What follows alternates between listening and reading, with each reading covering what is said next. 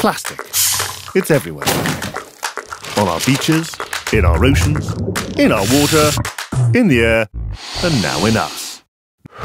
No matter how remote the spot, you'll find it. But it hasn't been here long.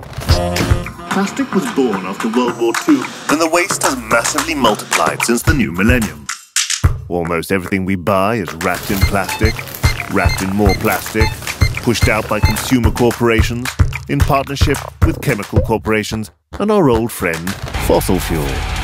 Because as shiny and clean as it looks, plastic is oil. But that's not a problem if we just recycle. Right? Not when we find it's being dumped anyway, or burnt, or dumped in other countries, and then dumped again, or burnt, and as ever more plastic enters the system, only a tiny fraction ever gets recycled.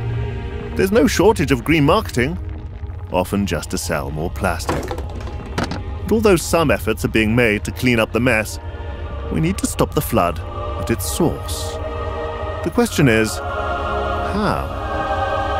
A global treaty is the first chance for big brands, governments, and people to come together, find solutions to end this plastic crisis, and rid ourselves of a system that profits from the mess. Because a problem that's everywhere needs the help of everyone.